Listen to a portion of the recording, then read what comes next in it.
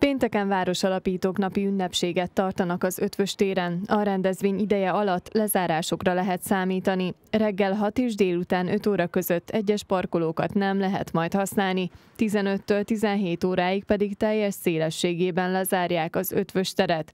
Arra kérik az ott lakó ingatlan tulajdonosokat, hogy gépjárműveikkel az adott időszakban ne parkoljanak a téren. Az esemény időtartalma alatt pedig a környéken fokozott figyelemmel közlekedjenek, figyeljék a kihelyezett közlekedési táblákat, és kövessék a rendezvényt biztosító jelzőrök utasításait.